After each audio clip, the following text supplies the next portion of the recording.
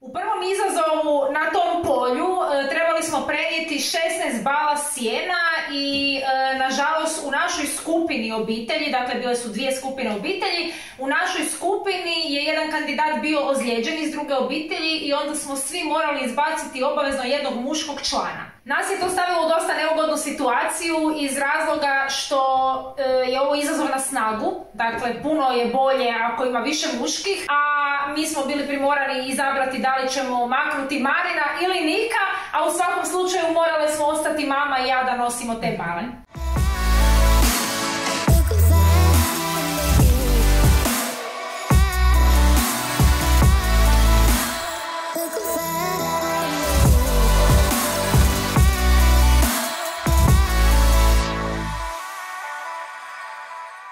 I odlučili smo se da u ovaj izazov ide Marin zbog njegove snage da on može nadoknaditi i naravno nositi što više bala. I sada je bilo jako zanimljivo taktiku koju smo mi imali da e, Marin bude nosio četiri bale, Ivon neka nosi dva i ja dva. Međutim sam se jako iznenadila kad sam vidjela da Ivon trpa na dvije bale, još dvije bale, tako da žena s Maje išla sa četiri bale po toj polje, trčala. Mene je ponijelo, znači kad smo mama ja smo prvo natrpale na Marina bale, jer to onako su bale dosta nezgodne, zavezane su užetom koje je strašno By the way, tanko. Imaju oko 20 kila svaka bala. Da, svaka bala ima oko 20 kila i onako su dosta nezgodno, znači taj štrik je strašno tanak i onda reže, reže ruke, težak je za nositi, pogotovo ovdje mi smo na Marina natrpale jel da na jedan la, podlakticu, na drugu podlakticu i u ruke i kad sam ja trebala uzeti svoje dvije, ja sam rekla mami, ma daj natrpaj i na mene. Ja sam se šokirao kad sam vidio Ivon da dolazi sa četiri bale.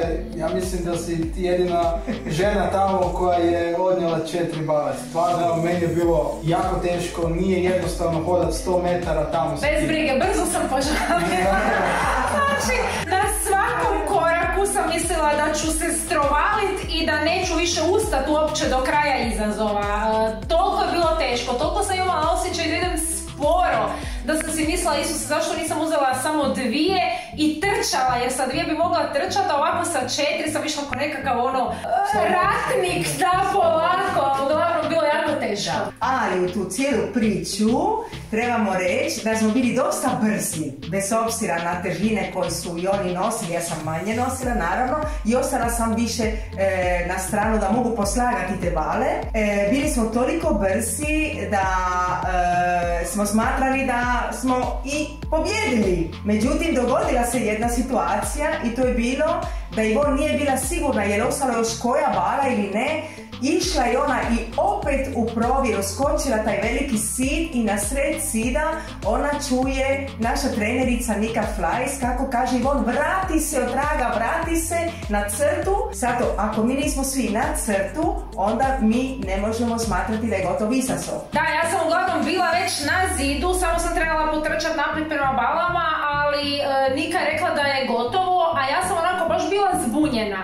E, taj prizor od ozgore, ja vam to ne mogu objasniti, bale su bile posvuda, to su to ono široko polje, bilo je puno terena i kako su neke bale padale drugim kandidatima i drugim obiteljima ono nasred tih terena, e, ja sam jednostavno samo vidjela polje puno pojedinačnih rasipanih bala i pitala sam još Niku, jesi ti sigurna da nema ništa? Da, da, da, vraćaj se na crtu. Došla sam na crtu, ja sam mislila da smo mi pobjedili. I onda je bilo veliko razočarenje za nas kada smo zapravo saznali da je ispod jedne rasute bale bila jedna cijela bala koju nitko nije vidio, ni mi, ni, ni, ni trenerica, ni sudac, zapravo apsolutno niko. Tako da umjesto da smo dobili pet bodova kao prva obitelj koja smo složili, dobili smo samo jedan. Baš koma, ali e, na Niku nismo ljuti, ona stvarno nije vidjela. e, mislim, Nika je za nas tamo u šovu kao dio obitelji. Toliko je strastvena, toliko se trudi, toliko nam dobre savjete daje,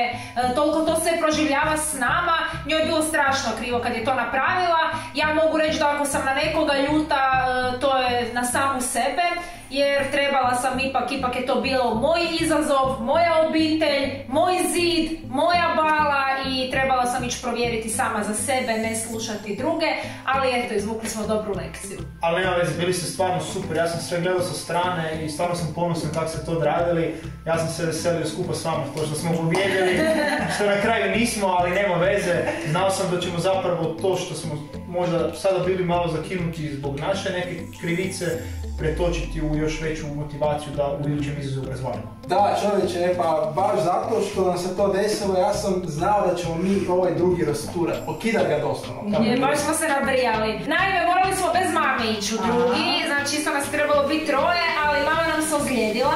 Tako je, kad sam išla slagati te bale, umjesto da sam tehnički ispravno to radila, kao luda sam bacila jedna bala na druga i onda mi su kljesila kičma, donji dio kičma, jer nisam mogla stat, sjest, hodat, leć, bila sam totalno u banani. E, došla je hitna pomoć za mi da dvije injekcije i taj vikend jednostavno sam morala ga prileći u krevet. Evo. Zato smo nastroje odlučili nadoknaditi skroz, e, bili smo u glavi ko mašine, rekli smo sada idemo ništa. Napokon smo odlučili da nećemo napraviti niti jednu grešku, jer do sada su nas stvarno pratili nekakve pekovi i stvarno smo išli kroz ovaj izazov, znači sve je išlo ko po špagi, znači to je bilo ko s moje strane, ja mislim da stvarno nismo mogli to bolje napraviti. Osim trenutka kad sam se ja stvarno utopila, kako sam morala nositi GoPro na kacigi, dosta mi se dignuo gore dok sam trčala, valjda sam ga sama dignula jer mi je smetao prilikom trčanja i Niki ja smo skočili u onaj bazen smo zaroniti ispod guma, ispod one prepreke s gumama. Ja sam se svom snagom zaletila dolje i odjednom sam se samo ono zabila i odzvanjalo mi je u glavi, ali sam ja ostala dolje, e, ajmo reći zarobljena među te gume, jer je taj GoPro ostao među gume. Ja sam od jednom trenutku gledala dolje, sve je bilo crno, to je onako ona močvarna, odvratna voda. Uhvatila me panika, uspjela sam izronit van, ali sad je trebalo opet zaroniti. Ja nisam mogla od panike doći do zraka, udahnula i ovog puta odlučila da ću zaroniti skroz, skroz, skroz na dno tog kontejnera. I uspjela sam znači zaroniti, izašla sam van i ugledala Nika. I ja u tom trenutku sam već bio preko, znači druge prepreke, gume znači jedna ideš ispod, jedna ideš preko i okrenem se, vidim nema Ivon. Znači, zaronili smo u istom trenutku, ja sam prošlo barem par sekundi, ja gledam ona je zapela i ja skočim preko i samo vidim ruke kako izlaze van Ja ko da sam sunce ono što je najgore od svega zapravo je bila faca od Ivone. Znači, ko da će, znači, ko da je ono bila, ja to ne mogu upisati, znači, spoli za život, znači, doslovno ovako, voda ona blatna izlazi iz usta, Da ja sam se nagutala sam se svega, sam se nagutala, gledala u tom ta žabokrećina i ja ju primam za ruke, vadim ju, ja sam mislio sad će se ona dobiti, početi ono ići, ona se samo opustila ja sam shvatio ništa, morat ću ju odnijeti, ja ju primim i preko, ali je moram pohvaliti. Čim smo stali na tlo, znači izašli iz vode i on je krenula kao da se ništa nije desilo. Hvala dragom Bogu, ja sam tih par sekundi kad sam izrodila i kad sam njega ugledala bila paralizirana od šoka, straha, hladnoće, ono bez zraka, tresla sam se i on je valjda mislio to da će me sam povući van i kao ja ću nastaviti. Ja sam se pustila, ono bacila na njega, nosi me, ali čim me iznio iz bazena, nekako ko da sam se totalno resetirala, počela sam trčat, došla do Manina i onog zida.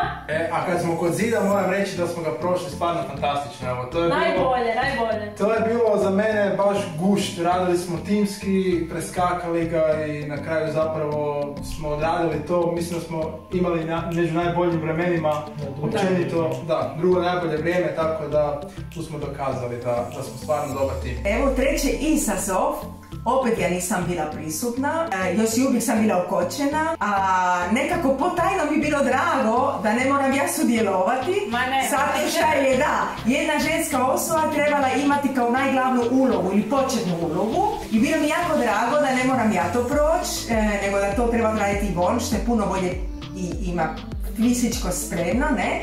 E, kad sam vidjela o čemu se radi taj poligon, mislila sam, ma bože dragi, nema šanse, to je nešto tako teško. Mislim, i taj sprint, i, i vuć ta saonica, i onda preskakati taj sit od 3 metra, e, i onda još u takvom izdanje mora proći po ta gredica, mislim, zbilja, to je bilo sa neko ko je full, full u fit kondiciji, tako da je bilo bolje da i on to radi. Hvala ti mama, uživala sam prelazeći sve te teške prepreke. Ne, stvarno, bilo je super, bilo je jako zahtjevno, uh, poligon je bio jako dugačak, pogotovo za žensku osobu koja ga je prolazila cijelog jer deški su kasnije prolazili samo jedan dio. Uh, meni je trčanje bilo super, saonice su bile jako teške za muć, ali je išlo dobro. S sam se smotala cijela, trebala sam si ih posložiti nekako da si pomognem preskočiti taj visoki zid i e, da sam bar evo mogla ranije, barem jednom probat to napraviti, ali nisam, znači bilo je da prvi put se susrećem s takvim zidom i sa balama sama i moram u toj brzini smisliti neku konstrukciju. Prvo sam napravila pogrešnu, vidjela sam da sam si ih previsoko posložila i da se ne mogu popesti gore, onda sam jednu maknula i stvarno dalje išlo super, odbacila sam se dobro, preskočila sam ga dobro i onda su nastupili dečki. Ivon, ti si to stvarno odlično odradila, jer ja kad sam vidio taj, to je dio što vi trebate napraviti, stvarno mi je bilo drago da nisam žena, znači bez šale, taj trg, te, te saonice, plus taj zid, plus ta greda je nešto što digne puls na tisuću i onda tek kreće zapravo poligon i mi smo, kad smo vidjeli koliko si se naučila, mi smo odlučili preuzeti stvari u. Nik i ja smo stajali tamo, čekali da je on jer bilo je točno određeno mjesto gdje on mora zakoračiti da smo mi oslobođeni, da smijemo krenuti i dati gas. Tako da smo ono, toliko smo bili uzbuđeni, motivirani, adrenalin je bio u meni, ne znam i tebi vjerojatno. I kad smo vidjeli da je on prešla zid ovako jednostavno, mi smo rekli ovo ćemo razvaliti. E tada je za mene stvari su krenule po zlu.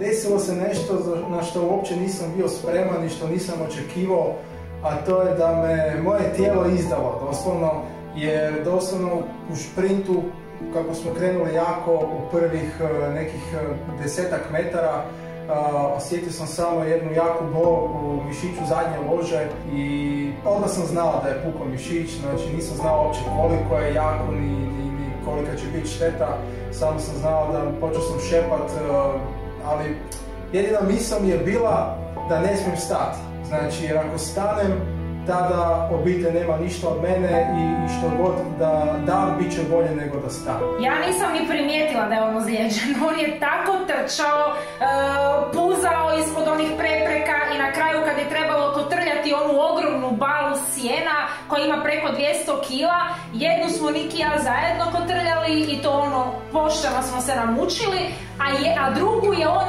sam otkotrljao tih sto i nešto metara, e, čak prije nas. Mi smo gurali tu balu i ja sam zapravo došao prvi do bale.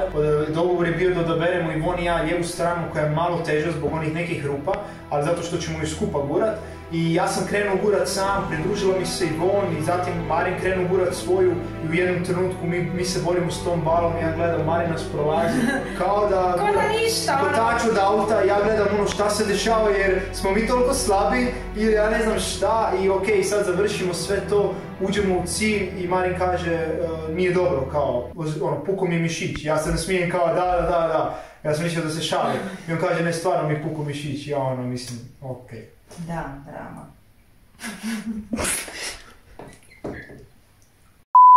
Ne, baš ono, baš koma e, situacija gdje napokon smo bili toliko dobri, toliko smo se dali, imali smo najbolje vrijeme od svih, e, letjeli smo kroz taj poligon i onda nam ode zapravo najjači igrač.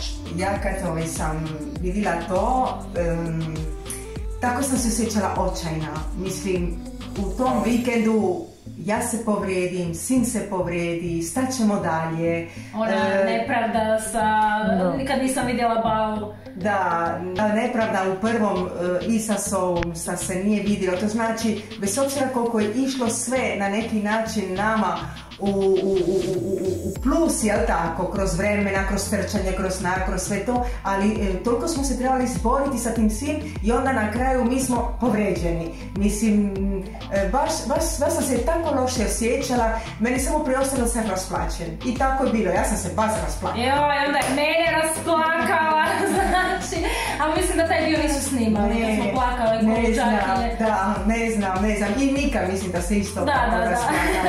Tako da u principu ovaj, bilo i sreća i tuga u isto vrijeme. Mene su poslali na hitnu uh, odmah tamo sa terena da vide da nije nešto strašnije da se desilo samo od puknuća mišića, ali moram reći da mi je bilo u sutu zapravo nesreću jako drago čuti kad su mi javili telefonski da smo izbjegli eliminator i da se žrtva isplatila. Marijan, to ti se definitivno isplatila, nas si spasio.